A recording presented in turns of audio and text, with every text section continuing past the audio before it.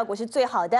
网络上传出在空腹的情况下跑步，对于燃烧脂肪、瘦身最有效果，真的是如此吗？来看我们的报道。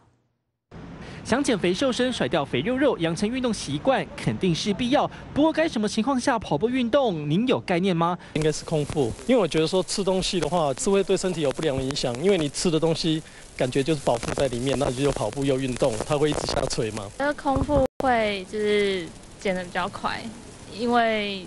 就是如果你吃完东西，你只是把那个热量消耗掉而已。大部分民众相信空腹跑步对于减肥效果更好，其实大错特错。空腹加上你血糖低，你可能会冒冷汗呐，所以有一些不生活呃像血压低这些不适的是症状会出现。不管空腹吃饱，饭前饭后没有什么差别，消耗顺序都从淀粉开始，接着是蛋白质，最后才是脂肪。你一开始牺牲的是糖类淀粉的话。